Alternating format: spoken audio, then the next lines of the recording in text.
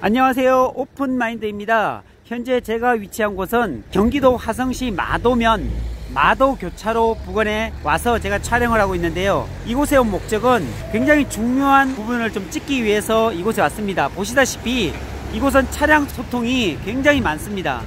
네 차량이 왜 이렇게 많냐면 지금 차가 오는 방향으로 보면 송산 마도아이씨가 있습니다. 그러니까 송산 마도아이씨에서 나오는 차량들로 인해서 이 차들이 어디로 향하고 있냐면 바로 직진하게 되면은 화성시청 쪽으로 가게 돼 있습니다. 그리고 지금 좌회전해서 가는 저 차량들 화면에 바라 보이는 직진으로 가는 곳은 어디냐면 이 도로가 지금 현재 2차선 도로인데요. 이 도로가 4차선으로 계획이 되어 있습니다. 토지 이용 계획을 때 보면 4차선으로 되어 있고 이 도로가 직진하게 되면 77번 국도 국제 테마파크 쪽으로 올라가는 세솔동으로 올라가는 쪽으로 만나게 되는 그런 도로입니다. 그러니까 지금도 차량이 굉장히 많이 지금 움직이고 있는 이 322번 도로인데요. 이 도로가 화성 시청으로 계속 가고 있지만 사실은 저녁 때가 되면 통산 마도아이시에서 나와서 77번 국도로 만나는 현재 화면에서 보이는 2차선 도로 쪽으로 많이 빠집니다. 그래서 저녁 때가 되면 이 도로도 밀리고 막히고 하는 그런 도로가 되어 있습니다. 그래서 지금 2차선 도로 마도 교차로 에서 보이는 이 정면에서 보이는 이 도로가 2차선이지만 향후 4차선으로 바뀌게 되고 차량이 이쪽으로 많이 지나갈 수밖에 없는 이유가 화성시청 쪽으로 가서 77번 국도를 만나서 화성 국제 테마파크 쪽으로 올라가면 시간이 굉장히 많이 걸리는데 바로 마도교차로에서 보이는 이 정면에 보이는 이 2차선 도로가 77번 국도로 질러가는 도로입니다. 그리고 그 앞쪽으로 보면 뭐가 들어가 있냐면 4차 산업 지원 지구라는 한 100만 평이 넘는 그런 산업단지가 생기는 곳이 바로 이쪽 길입니다. 그리고 이 도로를 타고 올라가게 되면 KCT라는 자율주행 실험장이 있습니다. 그렇기 때문에 이 도로가 굉장히 중요한 도로고 향후 지금 앞으로 내년부터 그 4차 산업 지원 지구 산업단지 같은 경우는 분양이 들어간다고 합니다. 그러니까 지금 올해 올해부터 단지에 가보면 벌써 공사를 하고 있더라고요.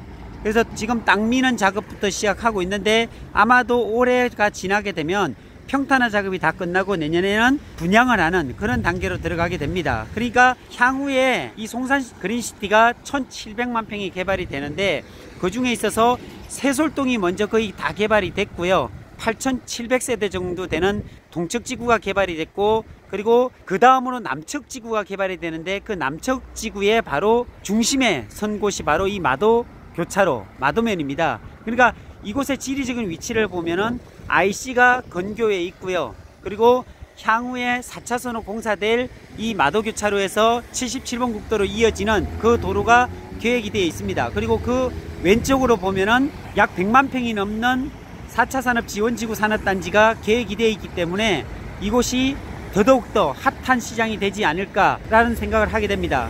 지금도 보시다시피 차량이 너무너무 많이 지나다니고 있고요. 화면에 보이는 이 도로가 향후 4차선으로 개발이 되는 그런 쪽이다라고 보면 됩니다. 그럼 이, 이 도로가 이 도로의 주변이 어떤 곳이 연결이 되어 있냐면요.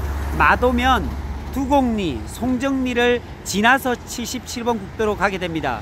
그래서 아마도 부동산적인 측면, 투자적인 측면에 보면 향후 앞으로 4차선으로 개발될 이 지역을 생각해 본다면 이 지역에 지금 2차선에 딱 달라붙어 있는 도로에 붙어 있는 토지가 나온다면 그런 도로 같은 경우는 향후에 집가 상승이 충분히 일어날 수 있는 그런 지역이지 않는가라는 생각이 들어서 오늘 이곳에서 촬영을 해 봅니다.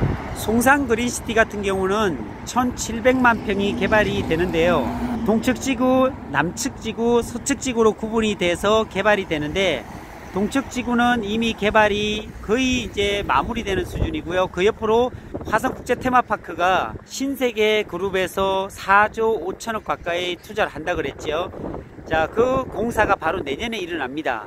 그런데 그 화성국제 테마파크로 갈 수 있는 지름길이 바로 이 마도교차로에서 화면에 보이는 정면으로 들어가는 이 길입니다. 그래서 오늘 굉장히 중요한 부분이 있어서 이곳에서 촬영을 하게 되는데요. 다음 영상은 두곡리, 송정리 쪽으로 가서 한번 자세하게 그곳을 그곳의 위치를 좀 설명을 드려 보는 시간을 갖도록 하겠습니다. 오늘은 여기까지입니다. 감사합니다.